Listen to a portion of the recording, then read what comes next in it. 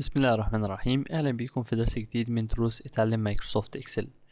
النهارده إن شاء الله نتعرف على إزاي نستخدم الحلقات التكرارية loops. آه آه وهنستخدم النهارده الحلقة اللي هي for next. في البداية نعرف إيه هي الحلقات التكرارية. الحلقات التكرارية هي عبارة عن جملة أو أسلوب بيتيح يعني لغة البرمجة بتتيح لينا إن إحنا نقدر ننفذ كود معين لعدد معين من المرات أكتر من مرة. فبدل ما أكتب الكود الواحد ثلاث أربع مرات فأنا بكتب الكود مرة واحدة واقول في لغة البرمجة أو أقول له نفذ لي الكود دوت ثلاث مرات أو أربع مرات أو على حسب عدد المرات اللي أنا عايزها. طيب إحنا النهاردة بنقول هنتكلم على الحلقة التكرارية اللي هي for next. في الإكسل عندنا كذا نوع من الحلقات التكرارية النهاردة هنتكلم بس على for next. طيب بما إننا نشتغل في الأكواد ننتقل إلى آه، محرر الأكواد Visual Basic Editor من خلال قائمة Developer وندوس Visual Basic نضيف module جديد بحيث إن إحنا نكتب الأكواد بتاعتنا فيه. ونكتب كده sub. ونسمي الكود بتاعنا test أول حاجة هنعملها النهارده قبل ما نشتغل بالحلقة التكرارية إحنا عايزين هنا نضيف في ال range بتاعنا ده كله القيمة واحد. خلينا نشوف الطريقة التقليدية بتاعتنا اللي إحنا نشتغل بيها إيه هي. هنقول نستخدم الاسلوب cells في الإشارة الخلية ونصغر بس ال- ال range بتاعنا كده بحيث إن إحنا نشوف إحنا بنكتب فين. هنا أنا ببدأ في الخلية اللي في العمود السابع فأروح أكتب cells وافتح القوس وهو بيقول لي عايز تبدأ الخلية بتاعتك في العمود الكام فأنا أقول له الخلية في العمود السابع. بعد كده بيقول لي هي في العمود الكام فأنا أقول له ده عمود اتنين تلاتة أربعة خمسة ستة سبعة تمانية تسعة. أروح كاتب تسعة. وبعد كده أروح قافل القوس وأقول له أنا عايز أكتب في الخلية دي القيمة هروح أقول له value إحنا كنا قلنا قبل كده إن value تعتبر الخاصية الافتراضية للخلية فلو أنا ما كتبتش value وكتبت القيمة على طول فما فيش مشكلة. وبعد كده أقول له ال value بتاعتي بتساوي واحد. أنا بعد كده عايز أنسخ القيمة بتاعتي ديت في ال- الكذا خلية اللي تحت. فبدل ما هكرر الجملة ديت وأكتبها آه، آه، هروح أخدها copy ما خدتهاش copy right click copy وأنسخها كذا مرة. أنا عندي هنا خ- أربعة خمسة ستة سبعة يبقى هنسخها سبع مرات. وأغير هنا الخلية بتاعتي كلها في. آه في العمود التاسع. فأنا مش هغير العمود كل اللي هغيره بس اللي هو رقم الصف. فأروح كاتب هنا تمانية أغيرها بالتسلسل بتاعي. تسعة عشرة حداشر اتناشر. 13 آخر عمود عن آخر خلية في العمود ال 13 مظبوط. خلينا كده نشوف لو أنا دوست play على الكود بتاعنا دوت هلاقي إن القيمة واحد بتاعتي اتضافت. طيب خلينا نمسح القيم ديت ونرجع تاني لمحرر الأكواد بتاعنا ونبص كده على الكود بتاعنا. الكود بتاعنا بيتكون من كام سطر؟ سطر اتنين تلاتة أربعة خمسة ستة سبعة. بيتكون من سبع تسطر. أنا عندي خاصية إن أنا أستخدم تلات أسطر بس في إن أنا أعمل الكود دوت. إزاي؟ خلينا نعمل كود جديد نكتب sub ونسميه test اتنين وأقول. أنا دلوقتي بقول له هستخدم بقول هستخدم حلقة تكراريه for next فأقول له for وبعد كده أقول له هضطر أستخدم متغير. إحنا اتكلمنا قبل كده عن المتغيرات فأنا هضطر أستخدم المتغير وليكن هدي المتغير الاسم i واقول له i بيساوي من. أنا هبدأ من سبعة وهنتهي ب 13 فأقول له i بتساوي من سبعة وهنتهي ب 13 تمام كده؟ بقول له for. i بتساوي سبعة to 13 أدوس enter وأقول له عايز أعمل إيه؟ تمام؟ طيب أنا طالما استخدمت i يبقى أنا لازم أحط i بتاعتي هنا جوه الأكواد بتاعتي اللي أنا هنفذها. عشان أشتغل بكود مظبوط. طيب فأنا هروح أقول له هنا كده أكتب cells وأفتح القوس.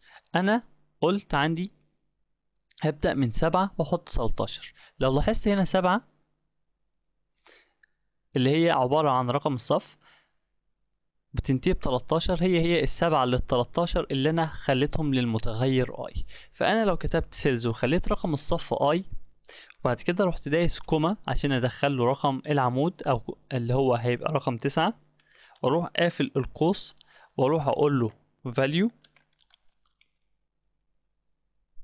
بتساوي واحد. وبعد كده أقول له enter أنا كده هو لو هيجي يشتغل على الكود لغاية دلوقتي هيقول for i بتساوي سبعة فهينفذ i بسبعة وياخد. ينفذ الشرط سبعة وتسعة اللي هي الخلية. اللي في الصف السابع والعمود التاسع ويديها القيمة واحد. طب أنا عايز ال i بتاعتي دي قيمتها تزيد. كل ما يخلص السطر يا ينفذ الكود زيادة يا ما ينفذوش على حسب الشرط اللي إحنا حاطينه له فوق. فأروح كاتب له next i يبقى إحنا كده كتبنا ال for next هو دي ال loop بتاعتنا اللي إحنا عايزين نشتغل عليه خلينا كده نمشي. أول حاجة أنا هنفذ الكود. وبعد كده هكرره قدامكم سطر بسطر بحيث إحنا نشوف هي ماشية إزاي. هقول له play بيقول لي في مشكلة ال variable مش متعرف أنا عندي هنا ال option explicit موجودة. فهشيلها بحيث إن هو ما, يلزمنيش إن أنا أعرف المتغيرات بتاعتي. وأقول له play كمان مرة هلاقي إن الكود بتاعي اتنفذ في 3 اسطر بس. طيب أنا هشيل الحاجات دي كده ونطبق الكود مع بعض. ونشوف. أنا هقول له نفذ لي سطر بسطر.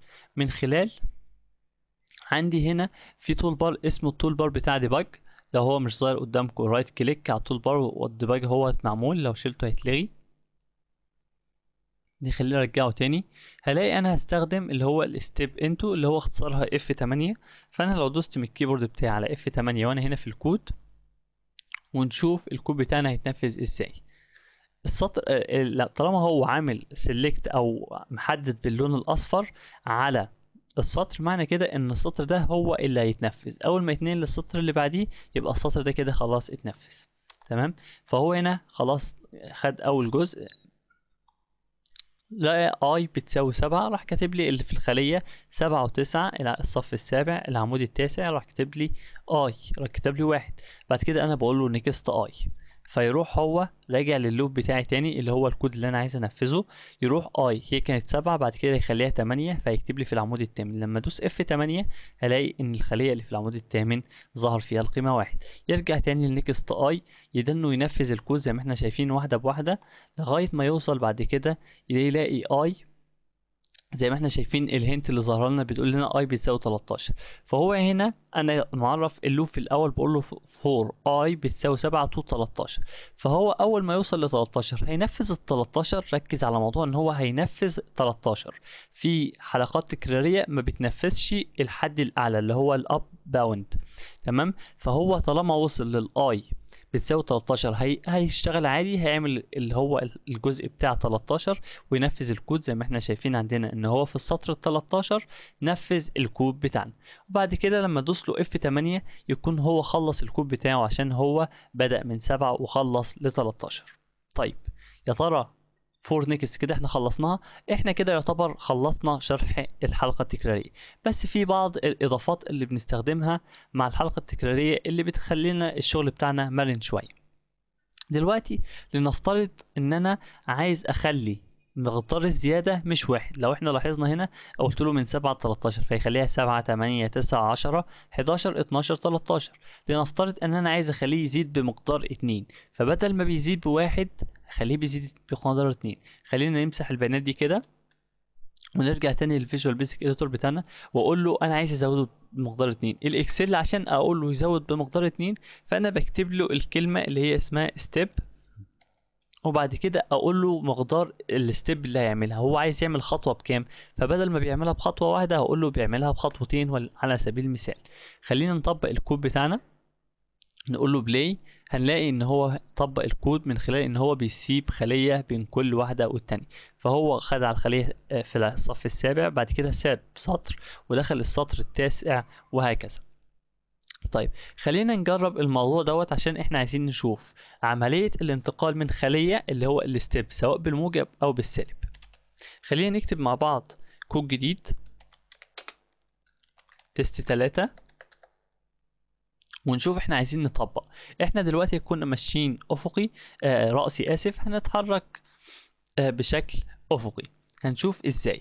أول حاجة هقول له for وأقول له i بتساوي أنا ال i هنا بما إني هتحرك بشكل أفقي فأكيد أنا الصف بتاعي هيبقى ثابت فهخلي ال i على الجزء الرأسي اللي هو الخاص بالعمود. فأنا هبدأ من العمود اتنين وهنتهي بالعمود تمانية فأقول له from for i بتساوي اتنين to تمانية.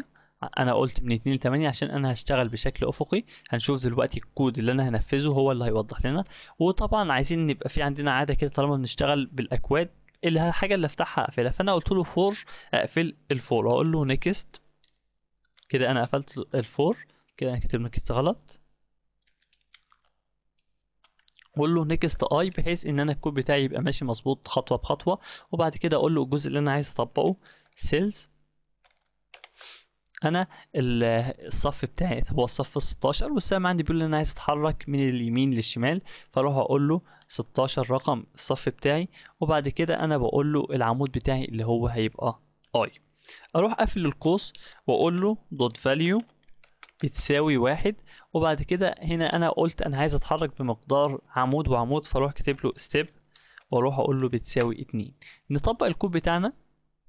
ونبص كده هنلاقي إن الواحد بتاعي اتضاف في عمود وعمود. خلينا ناخد الكود دوت كده copy.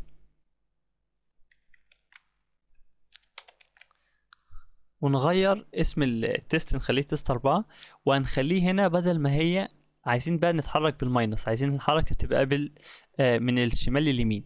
فعشان أخلي ال step هنا بال minus لازم أخلي ال i بتبدأ من الكبير أخليها from for i من 8 لغاية 2 طالما أنا هتحرك بالنقصان يعني أنا هنزل لتحت يبقى من 8 ل 2 وهنا أنا شغال في العمود 18 أروح أخلي هنا العمود 18 ال comma بتاعتي اتشالت أرجعها تاني. ونبص كده نشوف العمود ال loop بتاعتنا هتشتغل إزاي أقول له play هلاقي إن الخلية بتاعتي. خلينا نغير ال value بس عشان نبقى إحنا شايفين التأثير.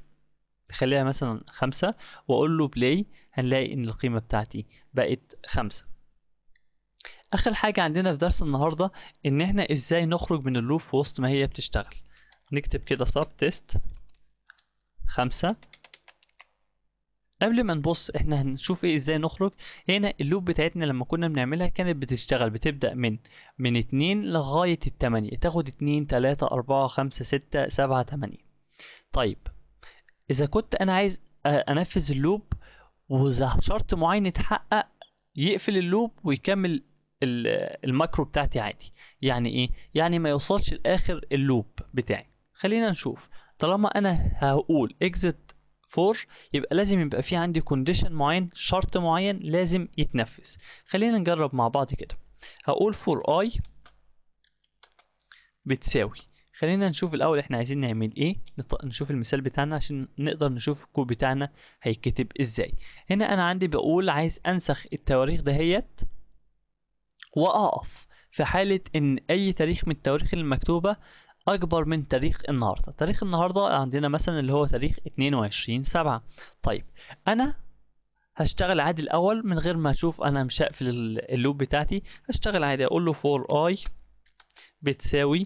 أنا هبدأ هنا الصف بتاعي هو اللي بيتغير فأقول له for i بتساوي من 24 لغاية 30 أقول له for i 24 for i to 30 وبعد كده أقول له next i زي ما قلنا الحاجة اللي أفتحها أقفلها وبعد كده أروح أقول له cells وأفتح القوس وأقول له i اللي هي أنا خليتها المتغير بتاعي وبعد كده أقول له في العمود الكام؟ أقول له اللي في العمود واحد اتنين تلاتة أربعة اللي في العمود الرابع وأقفل القوس وأقول له dot value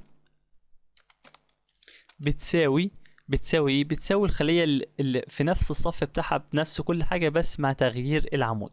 فأنا ممكن آخد الجزء ده copy control و C واحط control و V وأقول له العمود التاني أدي عمود اتنين وأقول له اتنين. وننفذ الكود كده نشوف إحنا الكود بتاعنا هيشتغل إزاي.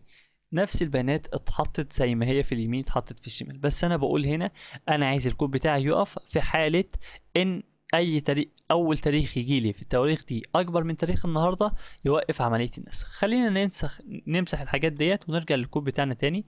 أنا قلت طالما أنا هستخدم حاجة فيها شرط فأنا هستخدم مثلا ال if condition.